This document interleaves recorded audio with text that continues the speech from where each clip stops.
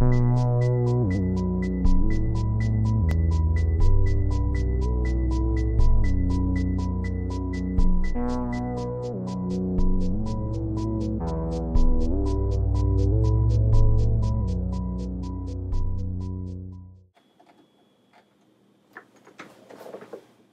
and welcome to Clock Strikes Midnight.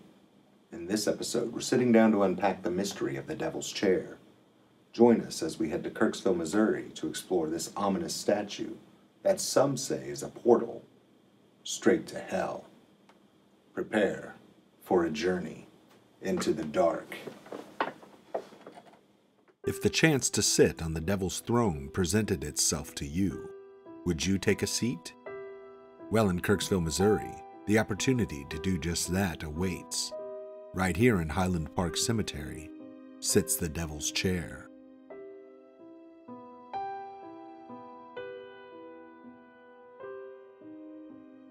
Legend has it, those brave enough to have a seat in the Devil's Chair at the stroke of midnight will somehow gain devilish powers.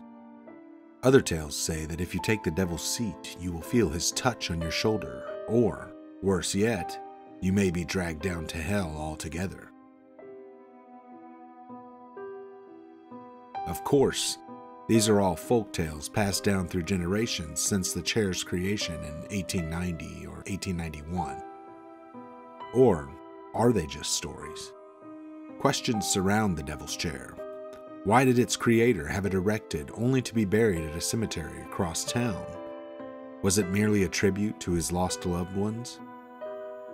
Or perhaps a portal for him to be able to travel to and fro, visiting his loved ones in the afterlife?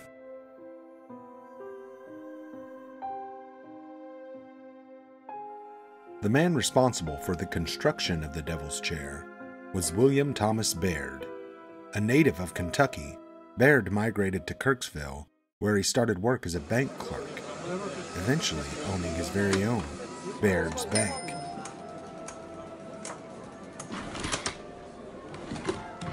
Baird would be an important citizen in Kirksville, serving as city and county treasurer and also being a prominent member of the school board.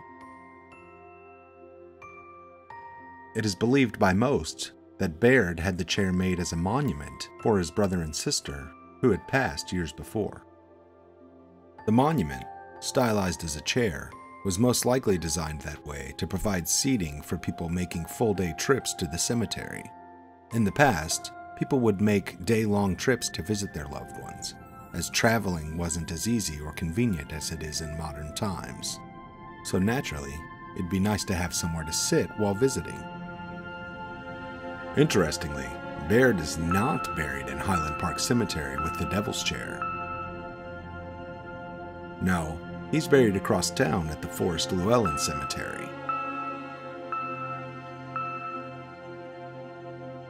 This is where other higher class members of Kirksville are buried, including Andrew Taylor Still, the father of osteopathy. Legends suggest that Baird uses the Devil's Chair as some sort of portal in the afterlife to travel the world of the undead. In a strange twist, the father of eugenics and one of Adolf Hitler's main inspirations, Henry Laughlin, is buried at Highland Park Cemetery, albeit in an unmarked grave. In a strange tie in with the Devil's Chair, Laughlin, who's buried at Highland Park Cemetery, could be responsible for another haunted object in Kirksville the Dybbuk box. Said to be cursed by a Jewish immigrant because she was denied entry into the country during the Holocaust based on sterilization laws put into place by Laughlin himself.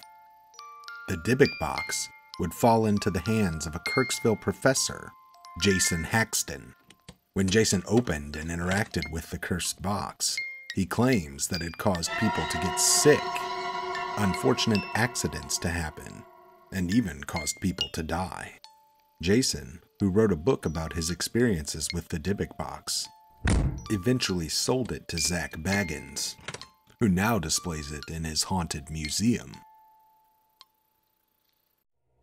Other devil's chairs exist around the country, including in Florida, Illinois, Iowa, New York, Ohio, and Georgia. Many of these monuments share the same urban legend that those brave enough to sit on it on Halloween night or midnight on a full moon will shortly thereafter meet their doom. One local ghost hunter who we travel with occasionally, Chad Coram, had his own strange experience at the Devil's Chair. One rainy evening, while visiting the Devil's Chair around midnight, Chad captured this strange mist above the chair. Some who have studied the mist in the picture say they can make out a face, possibly even the face of William Thomas Baird. Chad also caught an EVP while at the Devil's Chair that some say sounds like, Help me.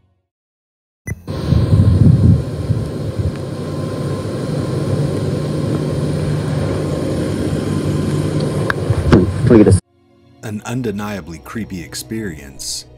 After this, Chad seemed to have a negative energy follow him around for a few weeks. Eventually, Chad was able to cleanse himself of the darkness that attached to him while investigating the Devil's Chair. The ghost of William Thomas Baird? Or perhaps something more sinister?